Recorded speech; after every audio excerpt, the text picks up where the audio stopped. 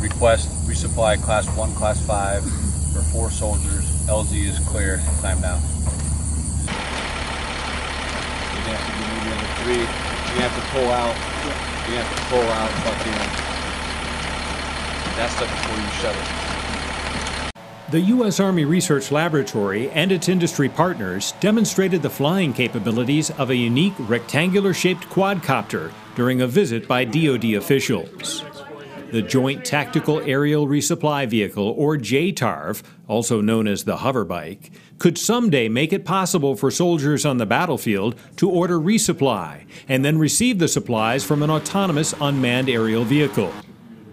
Dr. William Roper, director of the Strategic Capabilities Office at the Office of the Secretary of Defense, and members of his staff visited the laboratory at Aberdeen Proving Ground, Maryland, January 10th. Roper said he is concerned about adapting technology advances. That's my biggest fear is trying to figure out how we get people to see something that's that's coming on the shelf, immediately identify the use, determine if it's good enough for rock and roll, get it into the field, but in a way that allows us to keep one upping it. With a payload capacity of up to 300 pounds, the vehicle could provide vital resupply at short distances.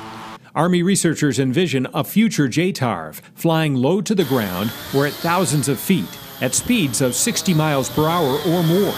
This project was successful because we went from a concept development to an engineering evaluation. It was done in collaboration with all various government agencies, industry, in a very short time.